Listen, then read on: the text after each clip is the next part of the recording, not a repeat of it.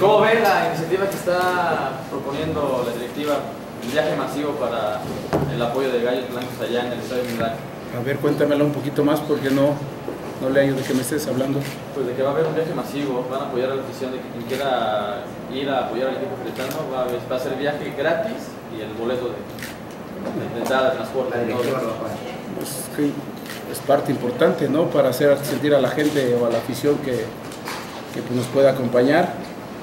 Es una semana muy fundamental para nosotros y creo que también el apoyo de, nuestra afición, que yo desde que llegué, la verdad que la hemos tenido. Hay veces, es cierto, por ahí alguien me dijo que cuando se llenó el estadio no ganamos, y eso es bien cierto, y cuando pareciera que no nos daban por muertos, ahí hemos ganado.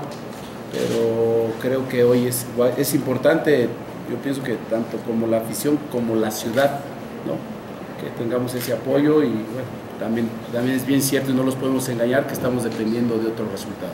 Profesor, también eh, últimamente, bueno, usted asumió el cargo, se ha dicho que Gallo se juega una final prácticamente cada semana, pero están llegando ya a un punto en el que este podría ser el último escalón de vida que se jugaría en el descenso directamente contra Puebla.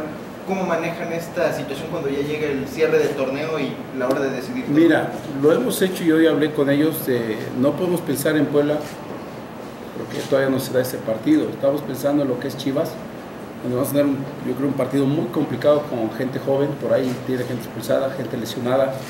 Y lo único que he tratado de, de, de decirles, lo que ha sido mi, mi, discurso con ellos, ir partido a partido. Eh, por ahí no sé si el partido de Puebla lo van a emparejar, a lo, a nos van a emparejar. ¿no? Bueno, ya sabremos nosotros el resultado, sabremos realmente qué nos estamos jugando y digo, ojalá y poder tener esa lucecita prendida de que hay un resultado que nos convenga a nosotros, pero nosotros, como tú dices, pues nuestro margen de error ya no existe, necesitamos ganar forzosamente. ¿Por haber dirigido a Chivas, profesor, puede ser una ventaja para No, yo creo que no, los partidos son diferentes, ¿no? Es cierto que por ahí me puedo encontrar a gente que conozco, Michel, Pato Araujo, eh, por ahí Ponce, se me olvidan algunos más y digo, tengo una gran amistad con ellos, siempre por ahí me mandan mensajes y todo, pero creo que eso queda aparte.